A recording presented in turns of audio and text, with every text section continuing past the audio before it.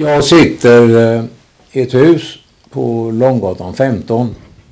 Och när jag kom hit så blev jag tämligen förskräckt eh, i ty jag eh, hotades av en hisklig kanonmynning. Det såg krigiskt ut men miljön dämpades naturligtvis mycket utav en vänligt viftande väderkvarn.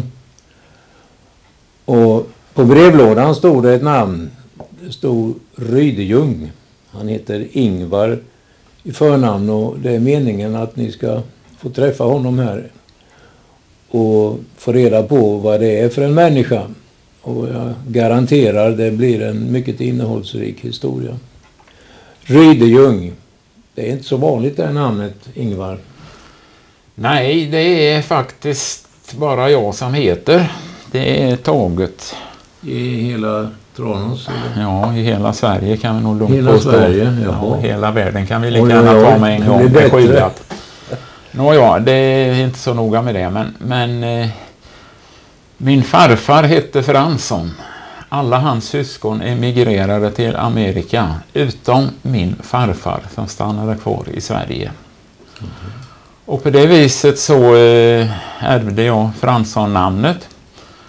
Men min farfars syskon kom tillbaka till Sverige. De bytte till namnet Rydholm efter eh, ja, eh, gården Rya där min farfar var född. Och på det viset så blev det att alla heter Rydholm utom jag.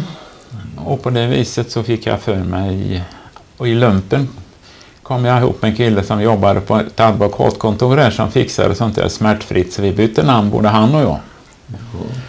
Och på det viset så blev det ett namnförslag från Statistiska centralbyrån som gjorde att jag kom att heta Rydejung. Ja.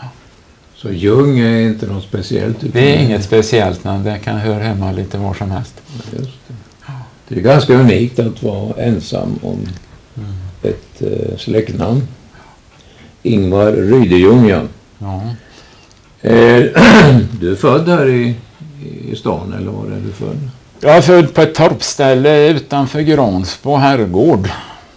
I, I skogarna ner mot Sommen där. Det Just. heter Moskog. Det är i närheten av eh, Häradsbäcken? Ja, det är strax intill Häradsbäcken och med Rubban på andra sidan bäcken där nere. Jaha, jaha. Och sen längre ner fanns ju eh, Måltorpet och Tranudden. Ja. Sen var det sjön. Men eh, vägen till Långgatan 15 har inte varit spikrak? Nej, den har ju gått via Knutingarp egentligen, bara Knutingarp, för att dit kom vi 1931, jag var fyra år. Och därifrån flyttade jag efter 30 år 1961 Jaha. till Långgatan i Tranås. Jaha. Jaha. Knutingarp, det är där du växte upp då? Ja, men det kan vi säga. Kloster och skola. Ja. Innan vi går vidare så vill jag berätta för er att Ingvar Rydejung är en tusenkonstnär. Jag har tummen så här. Han, han spretig och kan utföra det mesta. Han har tillverkat en massa konstiga maskiner som jag inte begriper så mycket av. Och han har gjort en fantastisk kopia av Boxholm 2 som finns placerad i Boxholm på museet där. Men det är inte om det den här filmen ska handla utan fast mer om det här som står framför oss här på bordet som eh, är en massa byggnader. Och eh, jag har ju varit eh, uppe i Knutingar på sett att där finns det ju bara ett eller vad är det, två hus, tre kanske. Men nu hävdar Ingvar med bestämdhet att så här såg det ut när han kom dit. Det fanns massor med byggnader. Hur har du kunnat rekapitulera allt det här? När vi kom till Knutingarp 1931 då fanns det tio stycken knuttimrade hus. Många från 1700-talet. Plus ett duvslag som prästen hade haft. Idag återstår ju bara två eller möjligen tre utav originalhusen. Resten är ju rivna eller ombyggda. Jaha. Och eh, de här jag håller på med nu, de är ju inte färdigställda än. Det är ju bara halvfabrikat så tillvida här. Det är mm. inte tak och grejer, men det ska ju bli så småningom. Det är skala 1 till 50. Och det här är alltså som du har eh, i minnet? Ja, jag har en del... Ritningar också? Jag har en del foto och eh, annars har jag ganska gott minne av allting. Mm. Mm. Har jag. Och Knutingarp var ju en gammal kommunisterboställe. Det var ju så att under 1600-talet eh, så saknade ju Säby pastorat en kommunistergård. Eller kaplan som det hette på den tiden. Det var ju våra tiders kommunister och de hade det ju ganska fattigt och eländigt de där stackars kaplanerna. Bol kallades eh, ja. bostället ja. för präster. Ja, och sen, och sen eh, så de skulle ju behöva en, ett, ett kommunistergård till Säby. Och Karl den XI ägde ju eh, ägde ju Knut, låt mig se nu, Karl den XI behövde en kommunisterboställe där. Och han hade en, det, då lydde det under Resta, Knutingarp. Men det fanns en gård ute vid eh, Resta som hette Grämarp. Och för den bytte ju Karl XI till sig Knutingarp. Och på det viset så blev det i kyrkans ägo så småningom. Han placerade en präst där. Och eh, sen eh, det kom ju många. Den första prästen som fanns i Knutinkamp han hette Jon. Det är det enda jag vet om. Men sen växlade det naturligtvis många präster eh, fram till den mellan natten mellan den 17 och 18 november 1925 brann gården ner. Alltså inte gården men hela boningshuset. Mangårdsbyggnaden? Ja, mangårdsbyggnaden. Prästens bostad brann ner. Ja, ja. Och de fick rädda sig som det står i böckerna i bara linnet ut i natten. Och de fick komma till Vinterstorp. Där fanns ju ett par små eh, Eh, småställen i närheten där, det som hörde till Vinterstorp. Det ena hette ju eh, Linnelund och det andra hette Vinterhuset. Och i detta vinterhuset fick ju prästen en fristad. Och där övervintrade de ju sen tills de fick en ny bostad då på Knutingarp. Och som tack för att de fick bo där lämnade prästen Bibeln. För Bibeln var det enda han lyckades rädda med sig på natten när de fick utrymma Knutingarp. Och som tack lämnade han den bibeln där. Och den har väl spårats lite men det sista någon vet något om den bibeln det var ifrån Fotsjö i Adelöv. Där fanns den då. Sen vet ingen vart den tog vägen. Men sen byggdes ju Knutingarp upp igen. Troligtvis på samma grund som det gamla huset. Så när din familj flyttade dit då var det uppbyggt? Då? Ja, det byggdes ju upp eh, omedelbart efter branden. Omedelbart efter Ja, för det var ju många präster där, eller där sen i... Ja. Så ni, du flyttade in i ett, eh, en prästgård helt enkelt? Ja visst, det fanns ju präster fram till en bit in på 1900-talet där. Karl, Karl Fries far bland annat var ju en av de sista. Mm. Mm. Just det, Karl Fries, filosofie doktor. Mm. Som uh, har beskrivit uh, sin hembygd i, i fantastiska skildringar. Som jag gärna rekommenderar att ni läser. Mangårdsbyggnaden, det måste vara den här den. Det är den ja. Den tar jag mycket enkelt och, och flyttar över så här. Kan du Jaha. Den vad vi ser för någonting? finns ju varken eh, tak eller golv i men... men då får vi ju full insyn. Ja just det, man, man kan ju se precis i, ja. igenom. Här, här är ju framsidan om man säger, här fanns ju en, en veranda. Och inuti här del, var det uppdelat med en tvärvägg rakt över så. Här var kök och här var ju vad som användes till sovrum. Här var det delat längre så. Här var en stor sal och här var en hall. Den här avdelningen var delad rakt över i två små rum.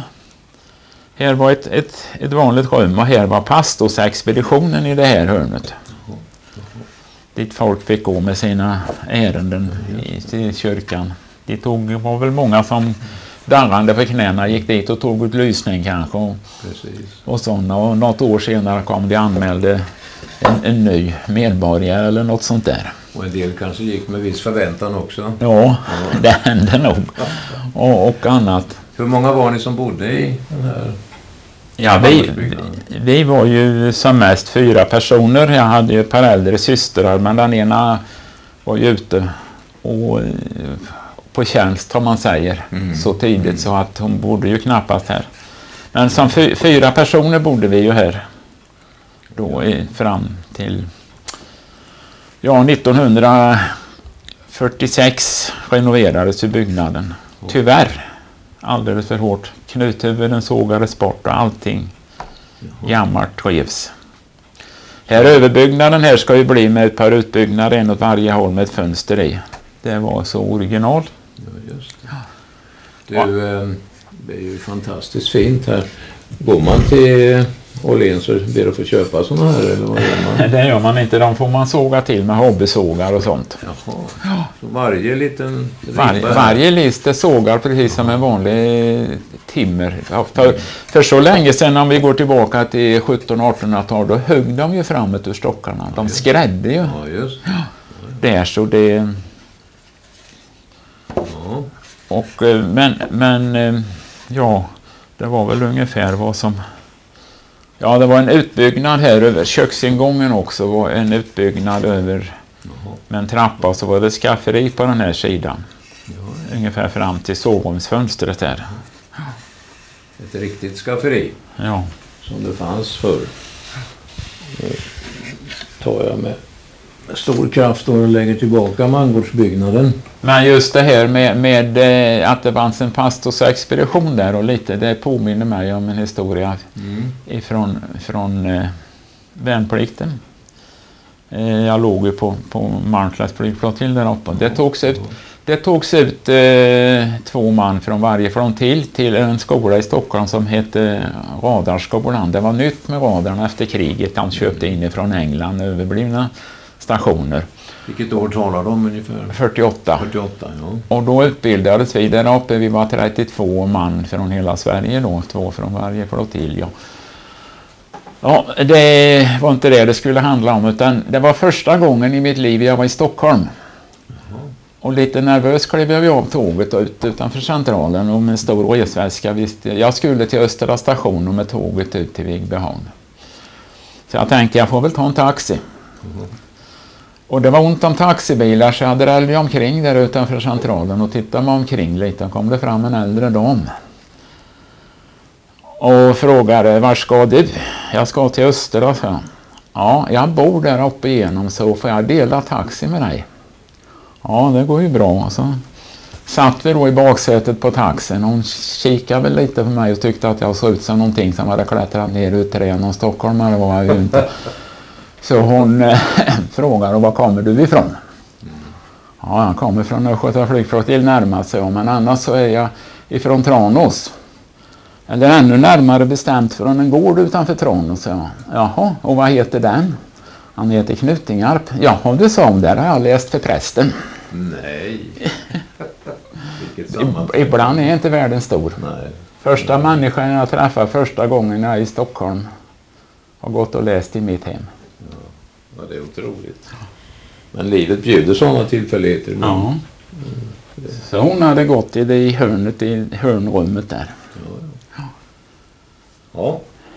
Ska vi titta på något annat här? Ja, då tar vi väl det andra utav eh, prästens nödvändiga bostäder, nämligen ja. dasset. Alltså det dasset, ja. Det var prästens dass. Det här är ett Det är bondens dass. Det är bondens dass, ja. ja det var inte så elegant. Det var ju en viss skillnad. jo, här, detta, detta här, det var ju timrat. Det var otroligt litet sött dass. Mm. Tyvärr, och det revs 46 när de renoverade kåken. Eldades upp i pannan i mejeriet. Är det näver? Det här är vanliga takstickor om vi säger. Jaha. Så det, är, det var spåntak på dem. Ja, spåntak heter det. Ja. Det var det jag menade. Ja, just Och här var ju, ja det såg ut ganska exakt som den här lilla stugan. Mm. Mm.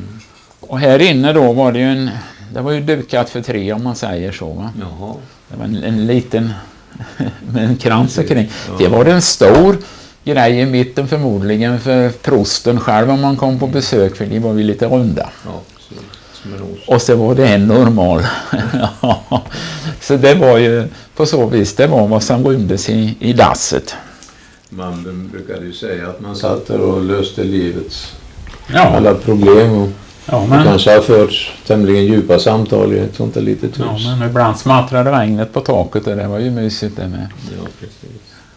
Men den här finns alltså inte längre? Den finns tyvärr inte. Den hade ju varit idag varit mycket fin. Den hade bevarats. Men 1946 fanns det konstigt nog inte någon känsla Nej. för sånt där. Nej. Och bondens eh, dass, det var... Bondens dass den var bakom en vagnbord. Den låg ute i... Det är en vagnbord det här eh, mm. som låg ute på andra sidan vägen som gick förbi själva Knutingarp. Mm. Eh, ja, det var en stor tom bod egentligen. Ja, det var, det var golvat här uppe så det fanns en, en övervåning där man kunde bära upp lite grejer. Mm. Här hade min far sina åkvagnar bara rakt in här. Och det ska vara två stora dörrar. Den här revs 39. Men bakom knuten det, det, arrendatorsbostaden fanns ju längre ner. Ifrån början fanns det väl ingen arrendator för det fick väl prästen sköta lantbruket själv förmodar jag. Men så småningom så hade han ju en, en, en bonde till hjälp och den han fick hålla till godo med det här lilla dasset som fanns bakom knuten. Mm. Satt i större avskildhet. Ja. Och det kanske jag föredrar när man ska uträtta sådana saker. ja. det, du växte upp här och eh, du gick i skolan var någonstans? Klosterås. Klosterås. Och du började ganska snart att hjälpa din far i ja, gårdens skötsel. Det, det, fick man ju göra så fort man orkade med och hjälpa till med slotter och... Hur gammal var du då? Ja, man fick väl börja, ja 12-13 år. Jaha. Och Eh, Rediga dagsverken? Gallra gover. Ja, det värsta var ju de här tröskdagsverkena, bönderna. Det gick åt mycket folk. Mm.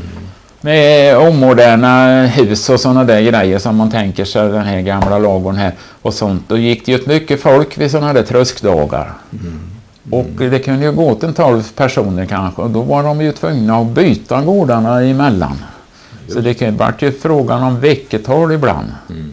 Nu kom ju skolan emellan så man fick ju inte ledigt så mycket men, men de där tröskdagarna, dammigt och eländigt. Mm. Och, och långa dagar. Ja. Ja. Vad tröskade ni med på den tiden? Ja, det var ju eh, vanliga, ja, som vi kallar dem för ångtröskverk. Fast ångan hade ju kommit ifrån då lockmobilerna. Det var ju mest råoljemotorer och mm. ja, en annan gård som hade eldrift. Mm. Mm. Men någon slaga behövde du inte svinga? Nej, däremot hade vi en slaga. Så jag har tänkt i den här modellen på stolpen på logen där inne hänga mm. upp en slaga. För de hängde de ju upp på de där. Ja. Så det... Så jag vet hur man använder en slaga. Jag har faktiskt provat lite grann. Men eh, det är ju inget att rekommendera om man är lite ovan. För det kan ju bli en annan spräckt skalle. Du, när man går omkring eh, och slår eh, dikesrenar med liar och sånt där. Ja. Du hjälper till att tröska och sköter kor och sånt där. Men då lär man sig inte att göra en massa tekniska maskiner. Tekniskt fulländade maskiner. Men det man lär sig då, det sitter kvar. Jag kan än idag både slå och mjölka kor. Jajamän. Det kan Utan jag. att de protesterar. Ja, det är ju inte så många kor jag mjölkar i dem. Men, men, men eh, det går. Men jag tycker det låter märkligt. Du måste berätta lite hur livet ja, utvecklade sig för dig. Intresset fanns ju för det tekniska naturligtvis så långt. Men man hade ju inte det tekniska till... du mötte där det var traktorer och sånt där? Nej, inte på den tiden. Du vet, det, det var mycket sparsamt med traktorer. Det fanns väl någon enstaka här och var. Mm. På stora gårdar, Grånsbo de där. Mm. Men annars så, det var ju hästdrift. Jag kan ju mm. plöja med häst och sånt där med idag så det är ingenting. Jo, jo. Jag skaffade traktorn 1954 när min far gick bort. Jaha, då tog du över gården? Ja, det gjorde vi ju mer eller mindre. Jag jobbade ju på Tranås elektriska verkstad med då och sen hjälpte jag till hemma. Men eh, min mor och jag tog ju över gården och jag rationaliserade så pass så att jag kunde jobba kvar i stan också. Jaha. Så det blev ju en helt annan drifts du bevisade där uttryckligen att en man kan göra flera saker samtidigt. Ja då. Det gör det. Och eh, till traktorn utrustade jag ju med köpte upp traktorredskap som var begagnade och kasserade åt andra. Och de gick ju att renovera upp till nyskick om man ville. Det första jag skaffade var ju både el och, el och om man kunde. Ja, el och gassvett skaffade jag ju det första till gården så att man kunde göra sånt där själv. Mm. Så att det besparade ju mycket pengar. Det, det, hade du lärt dig på ditt arbete i stan då? Nej, det hade jag ju inte för på elverkstaden hade vi inget sånt. Nej. Utan det var väl mer eller mindre självpraktiserat och så fråga goda vänner till råds och lite sådär. Ja, just det. Sen var det bara att köra och träna. Det vi ser här är en modell utav den ursprungliga bebyggelsen av Knutingarps kommunisterboställe. På 1600-talet saknade ju Säby kyrka en hjälppräst varför Karl XI bytte till sig gården Knutingarp utav dåvarande ägaren greve Bonde. Det vi ser här är en modell utav den ursprungliga bebyggelsen av Knutingarps kommunisterboställe. På 1600-talet saknade ju Säby kyrka en hjälppräst varför Karl XI bytte till sig gården Knutingarp utav dåvarande ägaren greve Bonde. Kyrkan placerade en hjälppräst, en så kallad kaplan, i Knutingarp. De fick ju leva på vad gården gav i stort sett och någon skärv ifrån kyrkan. Gården var ju oerhört stenig och så det var ju kanske inte så mycket att leva på. Men prästen flyttade i alla fall in i huvudbyggnaden som vi ser här. Och den inrymde ju ja, bostad plus en pastorsexpedition för allmänhetens behov. 1825 i november brann huset ner men återuppbyggdes på förmodligen samma ställe då det var högsta punkten på tomten och det var ju vanligt att bostadshuset skulle ligga på högsta punkten. Sedan gick det väl fram till 1946 då renoverades huset och förvandlades till en modernare fick ett modernare utseende. Bland annat revs ju alla dessa utbyggnader bort. Den här till exempel som var köksingång och även innehöll ett stort skafferi och en stor vedlår. Samtidigt så passade man ju på och moderniserade det hela genom att såga bort alla knuthuvuden som fanns. Det var lite dåligt med kulturen på den tiden. Såga bort. Vilket är beklagligt för det, det var ju oerhört snyggt med dessa gamla knuthuvuden.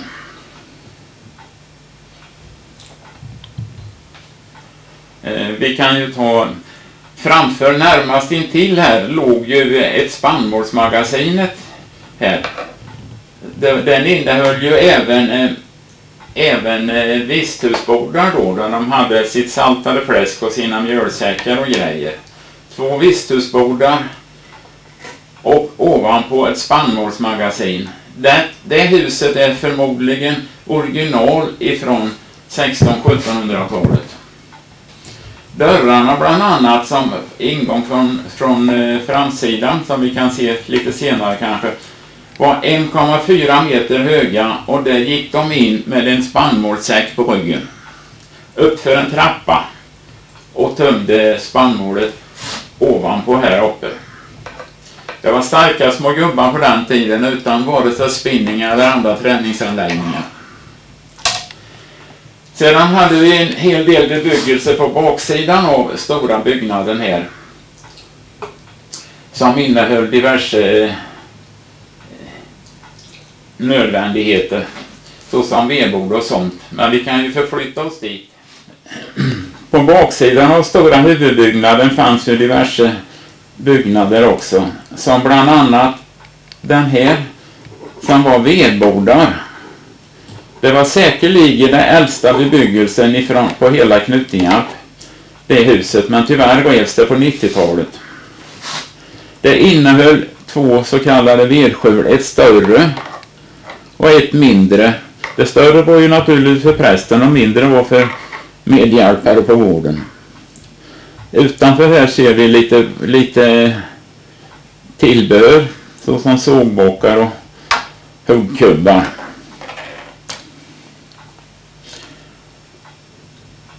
Bredvid vedboden här fanns en byggnad där prästen hade sina grisar.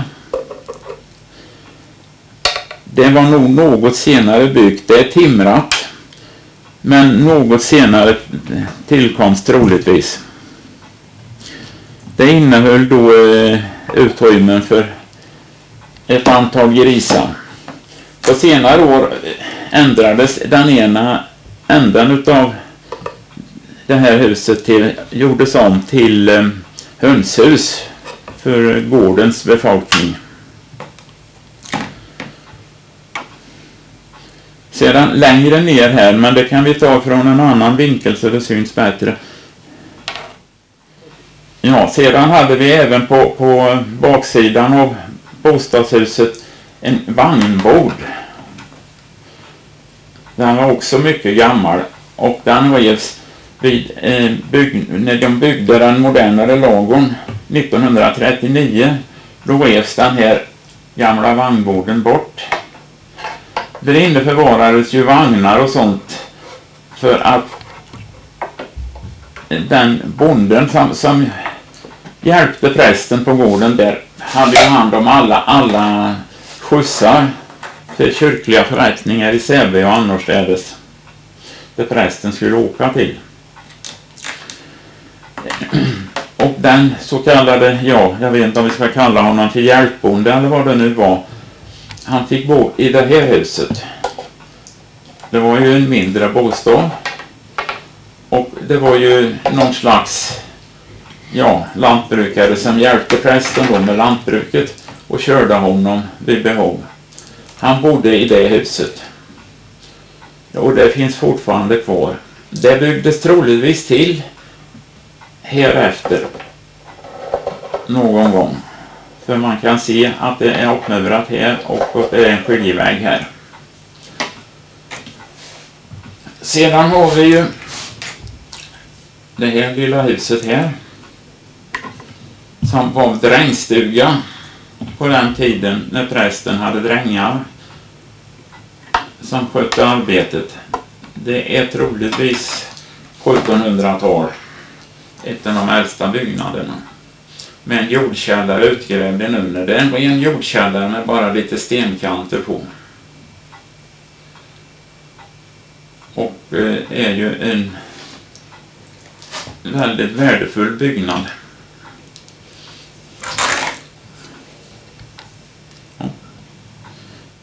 Så har vi då ekonomibyggnaderna på Knutingarp här. Om vi börjar här med själva kreaturslagon så hade vi kostallet här. Här borta var halmlader, eller eh, ja, sädeslador. En logge som gick att köra rakt igenom. För den man tröskade förr i tiden med slagtrösk och senare tider med ångtrösk. Och sen halmlåda igen. I vinkel emot kostallet där låg eh, ytterligare en byggnad. Den inrymde häststall längst bort här. Och redskapsbord. Och hönshus emellan. Och sedan så eh, kunde man ju åka emellan här borta. Med sådana här vagnar.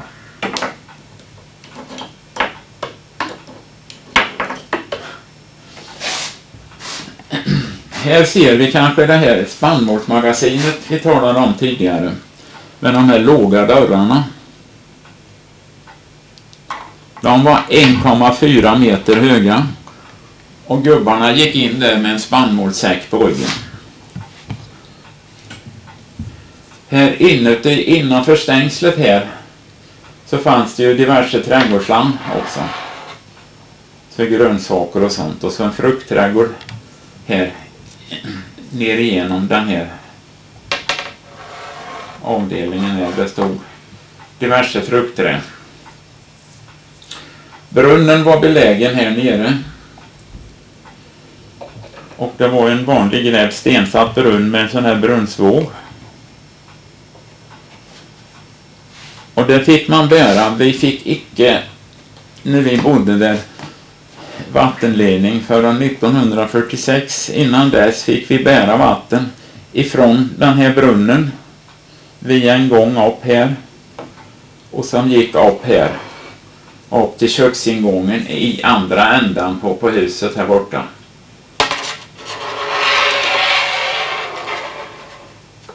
En väg på ungefär 150 meter och med ett ok på axlarna och en 15 liters spann i vardera, på vardera sidan. Det var tryckvatten fast det tryckte på axlarna. Och som sagt då 1946 när det moderniserades så ersattes det ju med pumpar. I den här gamla vagnborden som vi tittade på förut där vagnarna förvarades och så.